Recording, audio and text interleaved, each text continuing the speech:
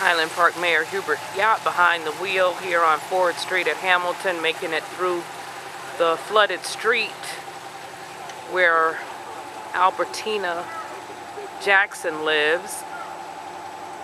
She's been dealing with this uh, flooded street for a couple of days now. She said the water at one point did come up to her front porch last night. Unfortunately, her husband suffered a stroke Thankfully, she says EMS made it through the flood waters all the way up to her front door and loaded her husband into an EMS unit to get him to the hospital.